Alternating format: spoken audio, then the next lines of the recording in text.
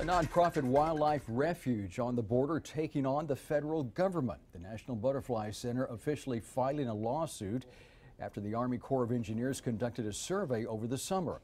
At the time, they were conducting aerial mapping of the property for the proposed border wall. Other properties were also mapped in Starr and Hidalgo counties.